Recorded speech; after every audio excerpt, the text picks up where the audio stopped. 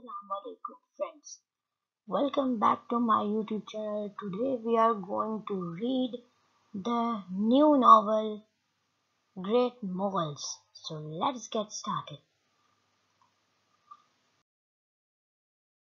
Chapter 1 Babur The Mughal emperors ruled over India for nearly 200 years.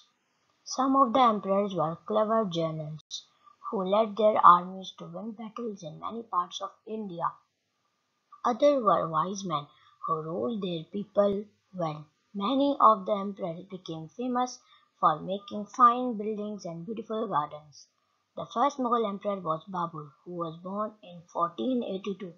His real name was Zahiruddin, but his mother called him Babur, which means a lion in Turkish language. His father came from the family of Timur the Great and his mother from that of Genghis Khan, who had been a famous Mongol or Mughal chief. Babur's father, Umar Sheikh Mirza, was the Khan or ruler of a small state called Farghana in Turkish.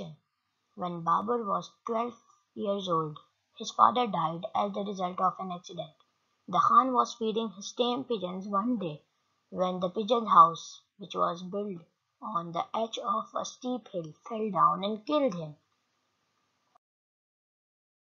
After his father's death, Babur became the Khan of Farghana. Enemies tried to capture his estate with the help of his chiefs. Babur spent the next 12 years fighting to keep his throne. However, his enemies were too strong for him, and at last he had to leave Farghana. Babur's small army and many of his chiefs remained true to him. Babur told them I had to I have to had to give my father's throne, but I shall find another. Timur was a great soldier. He marched into India and ruled over the Punjab. I shall do as he did and marched into India also. So Babur led small army but well trained army into Afghanistan. After many hard battles he took Kabul, the capital of Afghanistan, and became the ruler of several became the ruler of the country. From Kabul, Babur marched into India several times, taking Ghazni on his way, and at last reaching the river Indus. Then he went back to Kabul.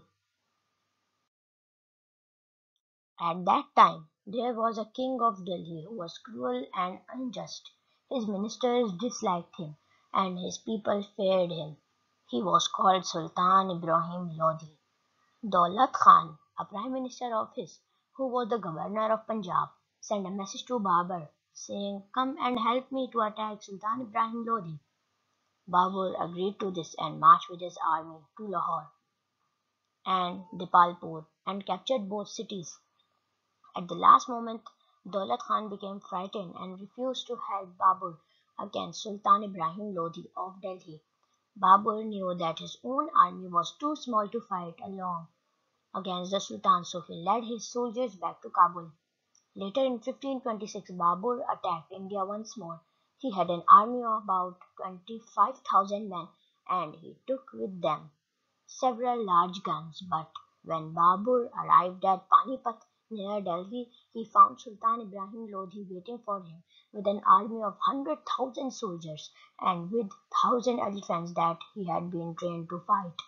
Babur was a clever general he sent for his chief officers and they told him that the Sultan's army was at least four times as large as their own. So Babur said, Because of this, our only chance of winning the battle is to surprise the enemy. True, he has more men than we have, but our men are better. The Sultan's soldiers riding on elephants came slowly forward to attack the small Mughal army which stood in front of them. From the high backs of the elephants, the Sultan's soldiers threw spears and shot arrows at their enemies, while the soldiers on foot walked forward behind the elephants. Babur ordered his horsemen to ride behind the elephants and then to attack the Sultan's army from the back.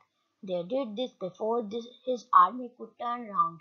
The Mughal riding fast horses attacked first in one place and then in another, killing the Sultan's soldiers with their swords and spears.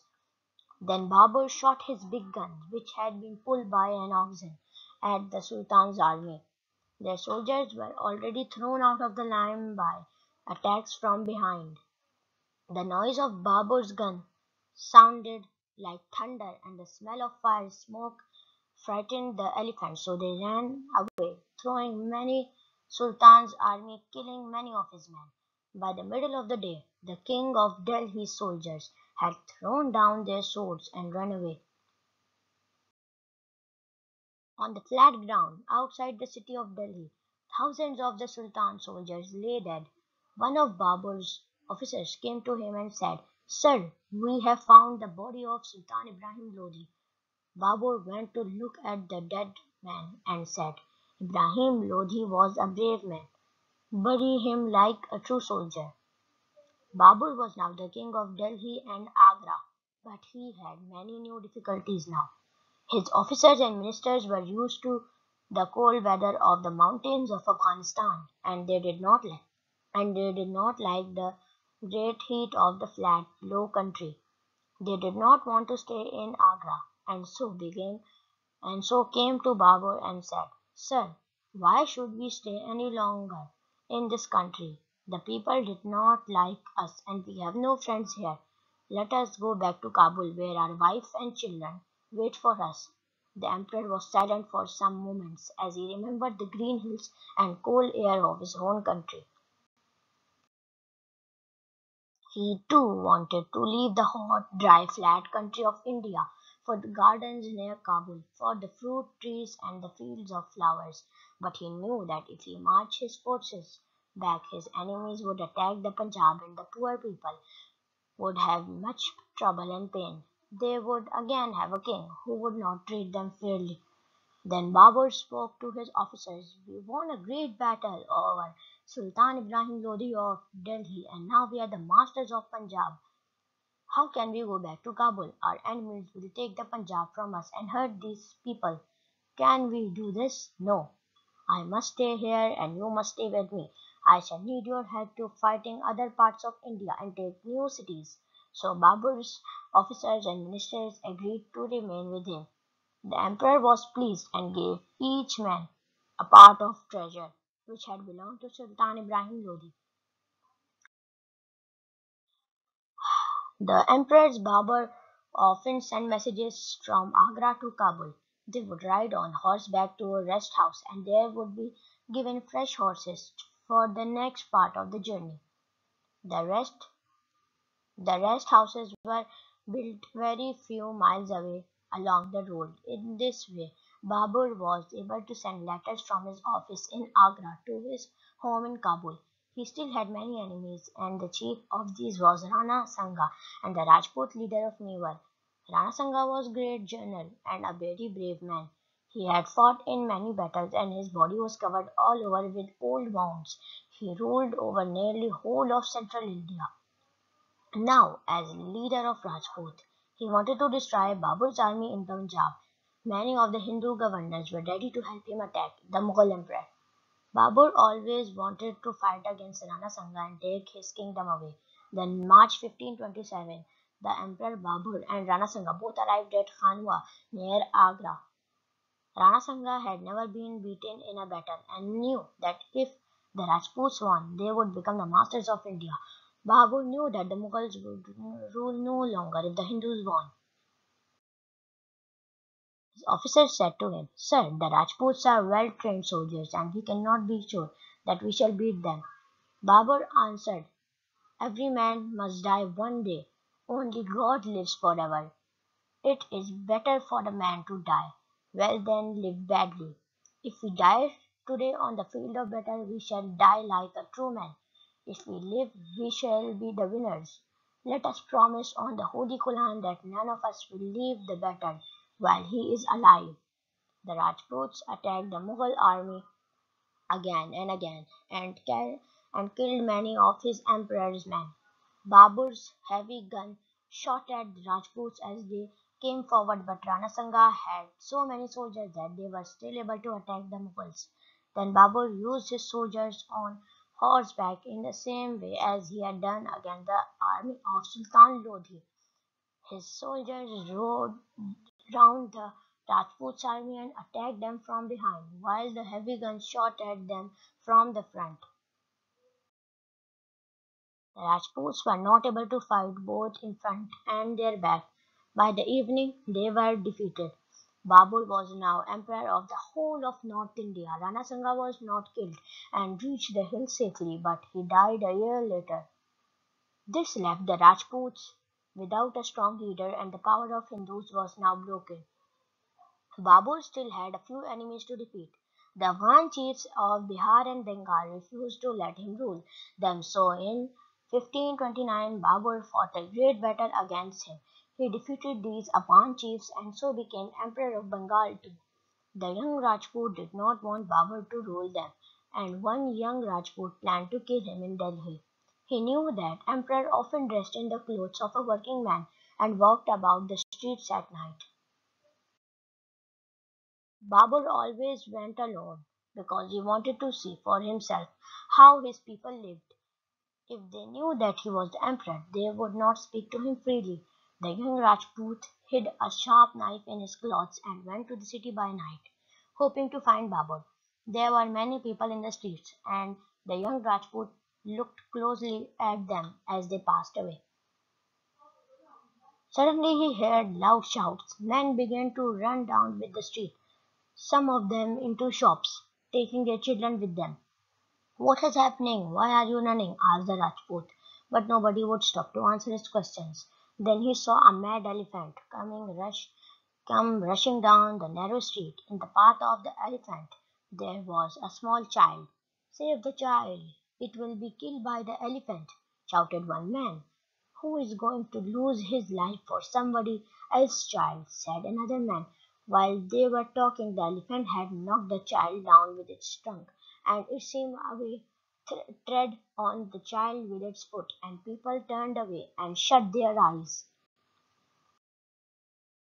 Suddenly, a man ran forward. Quickly, he picked up the child front in front of the elephant and carried off. As he did, his turban fell off, and people saw that it was the emperor. It is Babur, it's the emperor, they said to one another. The young Rajput came forward and knelt at the emperor's feet. Sir, you are a very brave man. I wanted to kill you, but you have shown me that it is better to save life than to destroy it. The emperor looked at him and said, You too are a brave man to tell me that you came to kill me. But I shall spare your life as you have spared mine. I shall make you a soldier in the royal bodyguard. Babur was learned man man as well as a soldier. When he was not fighting battles, he spent much of his time studying. He wrote a book called Baburnama. This tells of the custom and history of those days, as well as the story of Babur's life. He enjoyed all the games and often swam in the river. He was very strong and could walk along the top of the wall carrying a tall soldier under his each arm. The Emperor Babur also loved beautiful gardens. At Agra he had gardens made and planted with trees and flowers. Water flowed from many fountains and made the air fresh and clean. In his cool gardens, Babur could almost forget the heat of the long Indian summer. In 1530, Humayun the son Babur loved most fell ill. The doctors were called, but when they had little hope that Humayun would get better, Sir, we have done our best, but it is no good they told the emperor.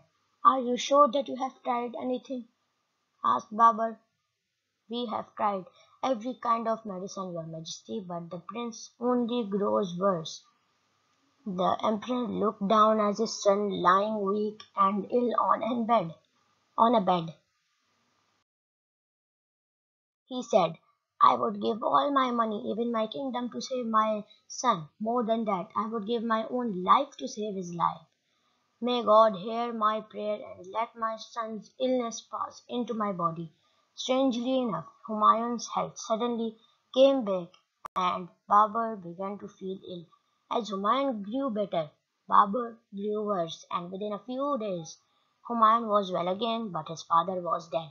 In December 1530, when Babur died, he was only 48 years old. His body was taken from Agra to Kabul, where it was buried in a garden the Bagh-e Babur So guys, the chapter 1 is finished of the great Mughals. Now we are going to do the question and answers. So let's get started with it. Question 1. Who was Babur's father and how did he die? Question 2. Why did Babur, when first taking an army to India, not defeated the Sultan Ibrahim Lodi? How did he defeat the Sultan in the end? Question 3. Why did the young Rajput decide not to kill Babur? Question 4. When Babur was not fighting, what other things did he do? Question 5. Babur ruled fairly. Find examples of this in this story. So guys, you have to write these answers in the comment section. Our today's our today's YouTube video has been ended.